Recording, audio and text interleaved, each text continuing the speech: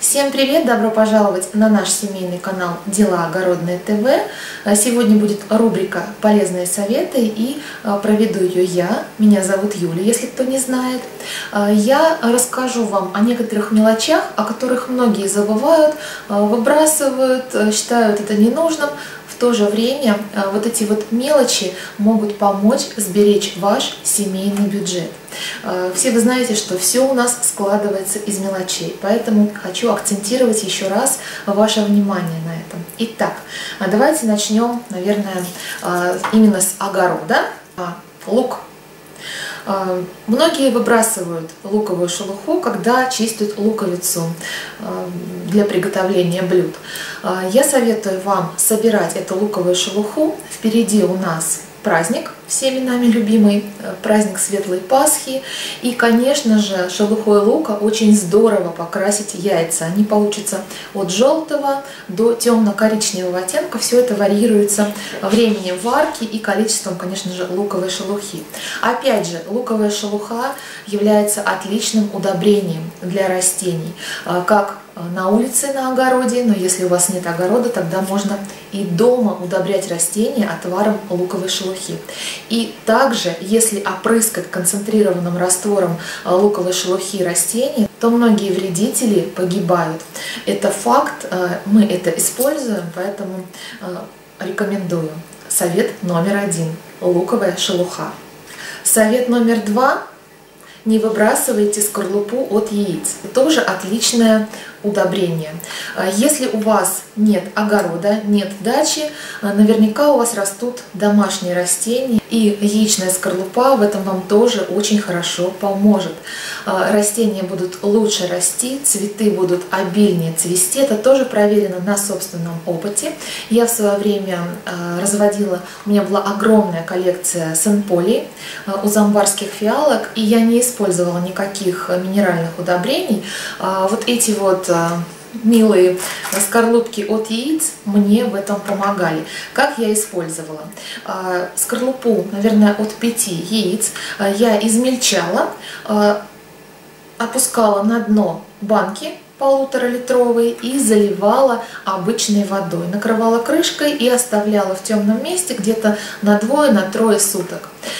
После этого получалась такая жидкость с характерным яичным запахом, запах сероводорода, тухлых яиц. Но это отличное удобрение для растений, проверено, работает на все 100.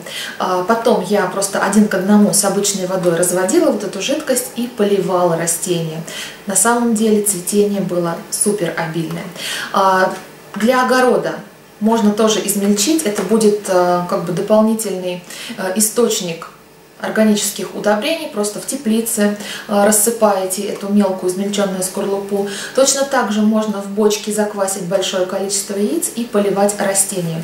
И э, для тех, кто разводит курочек, опять же, э, источник кальция дополнительный, цыплят, курочек тоже подкармливают скорлупками. Это был совет номер два.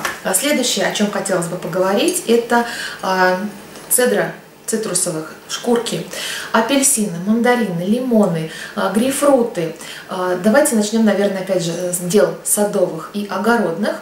А, в ближайшее время на нашем канале выйдет видео, мы покажем подробно, как сделать отличный компост, отличный перегной грунт своими руками а, для цитрусовых, для домашних растений. То есть не нужно будет покупать ту почву, которая продается в магазине. Стоит она сейчас достаточно дорого, но никто не знает, что там на самом деле находится. Написано, что там э, э, перегной, который пропущен через червей, но на самом деле э, никто за это не может поручиться. В основном это торф. Торф, который в принципе не обладает никакими питательными свойствами.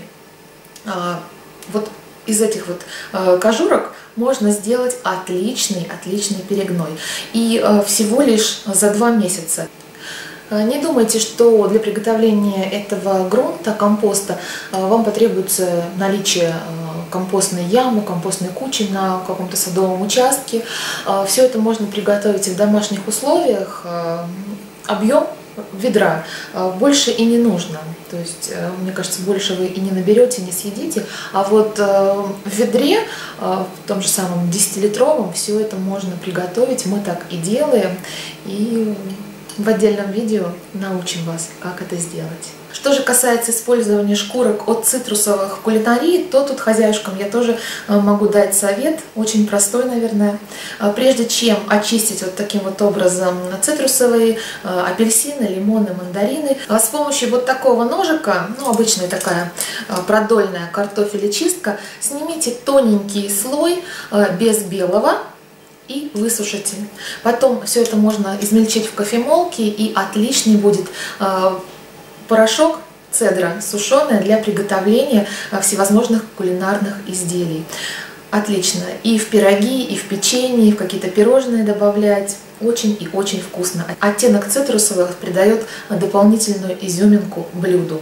А, кстати, на своем канале «Красоте и домашнем уюте» я показывала, как я заготавливаю а, цедрус цитрусовых, поэтому ссылочку под видео я оставлю обязательно. Э, третий совет – не выбрасывайте э, шкурки от цитрусовых, они вам еще пригодятся. Наступил посевной сезон, и не за горами то время, когда мы начнем пикировать наши растения. Поэтому э, нужно будет э, либо покупать какие-то горшочки, э, либо что-то придумывать. Я вам советую, кстати, уже не первый год мы советуем с моим папой на нашем канале, использовать пакеты из-под молока. Различные баночки из-под сметаны, из-под кефира, ряженки, они бывают разных размеров, но вот, наверное, самые оптимальные все-таки литровые пакеты вот обычный пакет, как всегда, здесь есть дырочка. Можно предварительно промыть этот пакет. Можно уже срезать верхушку, как вот здесь, и после этого его помыть, чтобы здесь не было никакой плесени, никакого грибка, чтобы пакет был чистым. И дальше просто-напросто мы складываем их в целлофановые пакеты. Вот видите, они э, замечательно вставляются друг в друга, не занимают много места при хранении и э, Держим их, заготавливаем именно для пикировки томатов высокорослых.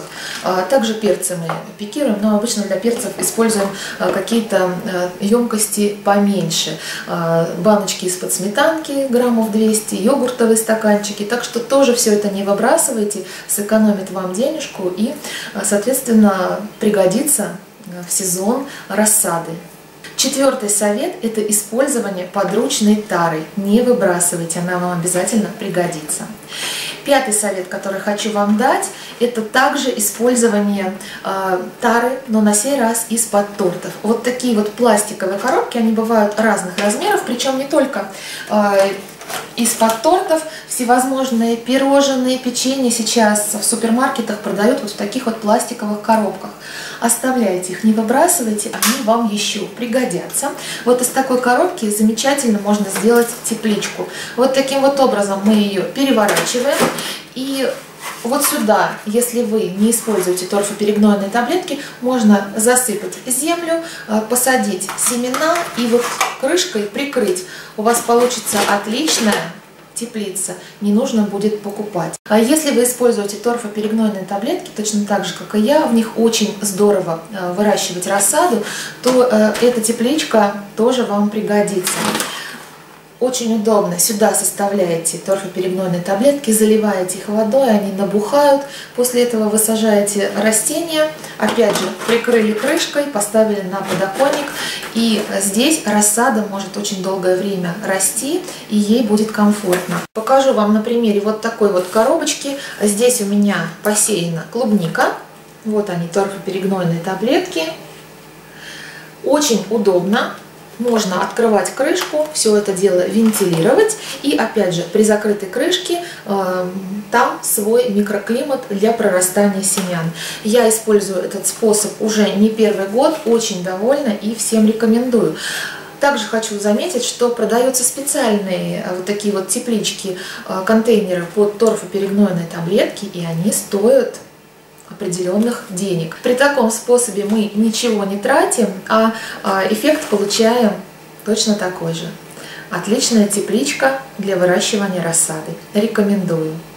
Ну и последнее, что хотела бы показать вам в этом видео, это, конечно же, не относится э, к саду и огороду, Но тем не менее канал «Дела огородной ТВ» смотрит большое количество женщин, поэтому э, хочу заострить внимание вот на такой вещи. Это кофе в капсулах для тех, кто имеет э, кофемашину, неважно, капсульную или э, засыпается туда обычный молотый кофе, не выбрасывайте, не выбрасывайте спитый кофе, этот порошок собирайте. Вот эти капсулки я разрезаю, высыпаю вот этот вот порошок, высушиваю его и использую для дальнейшего приготовления скраба для тела.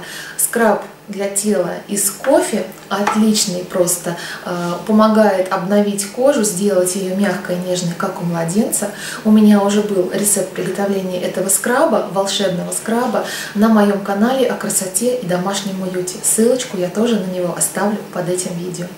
Вот такие советы сегодня я хотела вам дать. Надеюсь, что э, помогла вам в чем-то, э, какие-то идеи подкинула. Э, может быть, много из этого вы знали, но забыли. Если это видео вам понравилось, не забывайте ставить пальчик вверх, подписываться на наш канал, делиться нашими роликами в социальных сетях. Пока-пока, до встречи на нашем семейном канале «Дела огородной ТВ». Обязательно увидимся.